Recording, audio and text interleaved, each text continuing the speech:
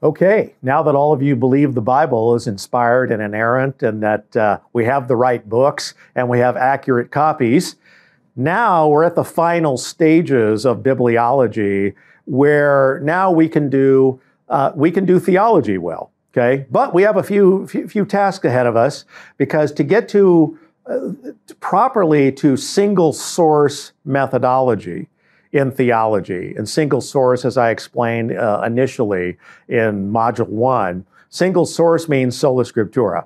That means that the Bible is the ultimate say on all that it addresses. It's fully inspired, inerrant, and it's sufficient and clear for building our system.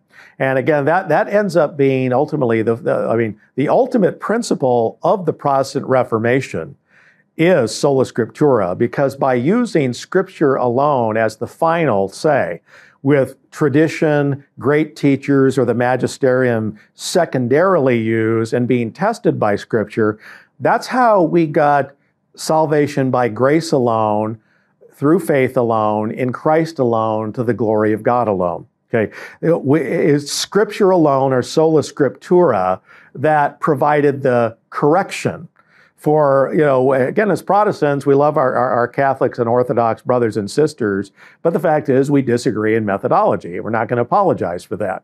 So, so that said, our final stages here, once we've got all those other things in place, is my guess is uh, for all of you, even if you're Talbot students, you may have had a little Greek and Hebrew. You're not fluent in it. Okay. You're not walking around with just your Greek and Hebrew Bibles uh, and saying, "Yeah, boy, I can read this stuff fluently and know all the uh, you know all the details and the scholastic grammar behind it." No, you don't. Okay, because uh, very few people are at that level in their Christian life. So most of us need what? A good translation of the Bible. And so the idea of translating these accurately copied, uh, again, uh, scriptures into a usable language becomes the next issue. So, how do we translate it and then use that as the sole and ultimate source to build our theology? That's what this module is about. Now, that said, Geisler and Nix have a lot on the concept of translation. So you will look at that because when you're doing ministry, and again, you, are not going to be you know, teaching out of you know a Greek and Hebrew Bible, uh, even though you should know as a as a teacher what the original language say, and make your be able to make your case exegeting the original languages. That's that's going to take some work on your part. You need to be able to do it. Now that said, when you get to translation theory, this is important because uh, again, we want to make sure that we avoid violating the warnings of the scripture, like add not to his word lest he reprove you and you be found a liar okay? Or you get to the end of the book of revelation you get the warning uh, do not add to the words of the prophecy of this book you know or, or you're going to get plagues and locusts and disco and everything else added to your life. Disco yeah it's bad. Okay you got that. Good. So all right. So all that to say is is that the, tra- the bible translators have a very very important job. I mean, all of us have an important job, but you're, you're, you're to take the Word of God and make sure you're not changing it. You're not adding to it. You're not deleting it.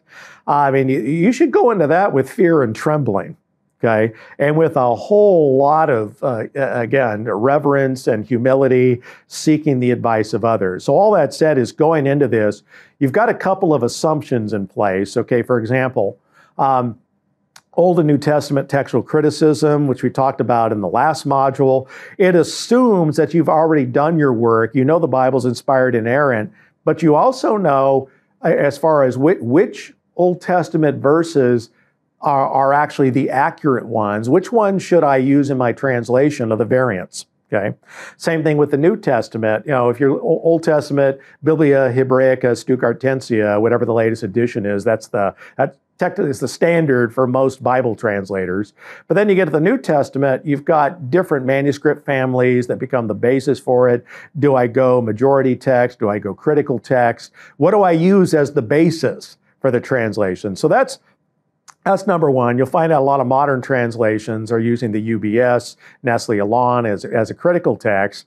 Uh, but that, you know, those who are, who are translating the New King James and others, uh, again, they look what is commonly called majority text, but it's a little different. But I've covered that in the uh, textual criticism module. But all that to say, you've got to have that in place. But now I've got to have people be able to study the Word of God in their own language. Now, Martin Luther, he was one of the first who was able, he translated the Bible into the language of the people, uh, into the common German. That is one of his great accomplishments. Uh, we have John Wycliffe, for example, is, you know, the original authors of the English Bible.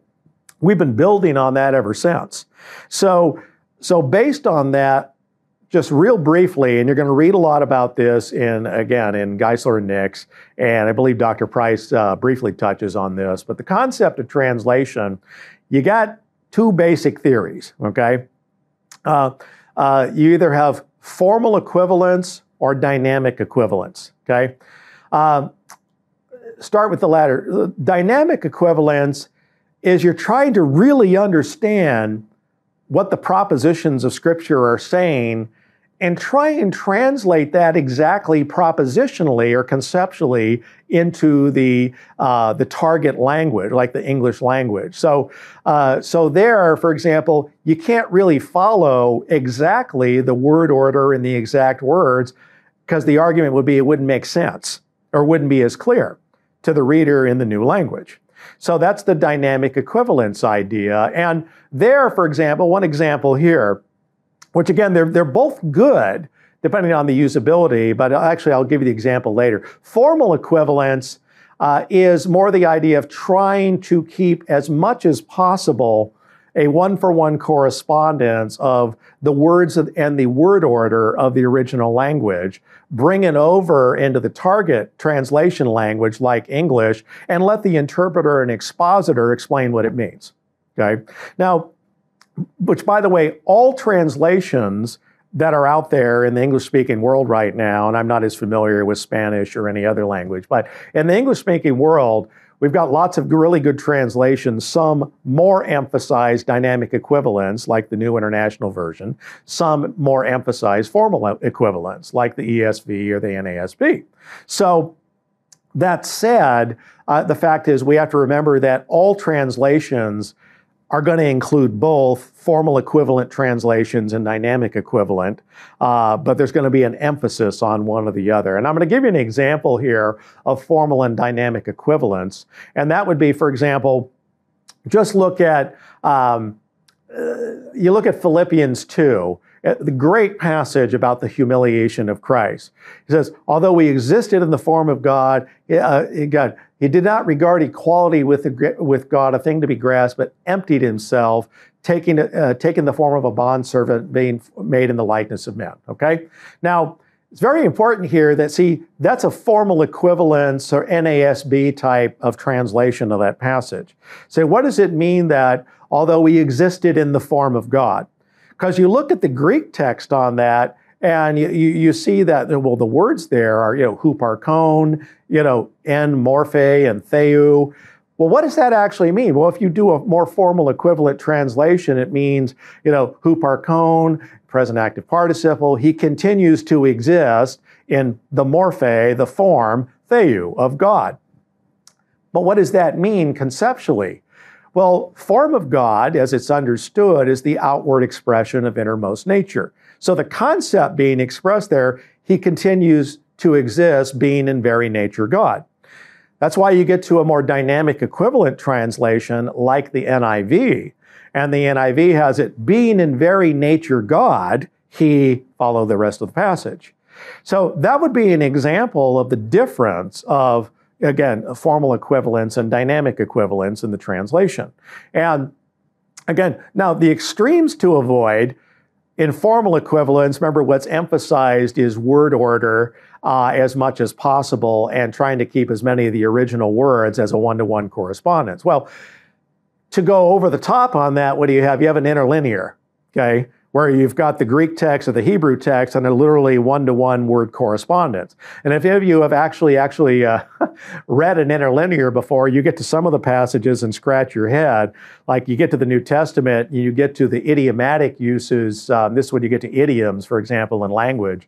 Uh, you get where, for example, the demoniac accounts, uh, you, you get this phrase, and you see this multiple places in the New Testament. For example, the, the demons say to Christ. Now, the dynamic, you know, the idiomatic translation, dynamic equivalence translation is, you know, what do you, what do we have to do with you, Son of God, if you come to torment us before the day? But if you look at the literal Greek, it's what to me and to you. Okay? That makes no sense whatsoever if you translated it literally, but that's an idiomatic use of, you know, Koine Greek in the New Testament era. But what it means, what do we have in common? What do you want from me? Okay, so you can't do a word for word translation there, it wouldn't make sense. So again, the extreme to go beyond formal equivalence is interlinear. And then to go beyond dynamic equivalence, trying to get a proposition for proposition translation, is really to go to paraphrases. Because the fact is, God inspired each and every word of the text. Uh, as we see, and, and again, we'll cover this in our discussions in inspiration and inerrancy, Jesus and the apostles, for example, are relying on one word sometimes in Scripture to make a case for their argument. So that's why the idea of verbal plenary inspiration, each and every word is inspired. You know, for Jesus makes the argument, for example, you know, uh, when he's arguing with his antagonist, uh, in this in, in, John, he says, well, basically the argument you're saying, hey, seven brides for seven brothers, right? Which one's wife in the resurrection? He says, you don't understand the scriptures of the power of God. He says because he says, I am the God of Abraham, Isaac, and Jacob present tense, not past tense. He's still the I am. So, in other words, you know, Abraham, Isaac, and Jacob, when God's talking to Moses at the burning bush, he's talking about patriarchs that have been dead now, you know, for 500, 600, 700 years. He says, I still am the God of Abraham, Isaac, and Jacob.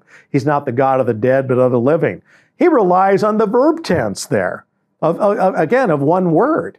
So we see that too with seed versus seeds uh, and all of that. So this is why you get into danger zone when you get to paraphrases. See, paraphrases, unfortunately, they, they in, in many say you can, they're not really Bible translations at that point. They're sort of uh, overview sermons of a passage. And so the question is, is well, but did this person who claims to be the translator, sermonator, actually interpret it and communicate it correctly? So I think we, what we want to avoid, again, are you can't really preach through interlinears and and paraphrases. You might want to make the case that they're not really in and of themselves Bible translations. So we're going to go somewhere between formal and dynamic equivalents in just about everything we use. So again, that said, you're going to look a lot on this in the Geisler Nix text, and you're going to have to decide at some point on what a standard text is for your people. And final words on this, remember, we're, we're going to hide God's word in our heart. Fact is, get a good translation if they're hiding it in their heart, because there's some pretty bad wooden translations out there. Uh, again, the King James, the New King James, is still great. It's still very, it's it, the diction is thundering. It's majestic. Uh, there are a lot of things about it. It, I'll tell you though, because beauty in a translation, as much as accuracy, uh, as well as good diction, as, and so on and so forth, can be very, very important to capture again the beauty, majesty, importance, and authority of the Word of God. Anyway, I'll see you again uh, when we talk about uh, sola scriptura in the next section and sufficiency and clarity. Thanks.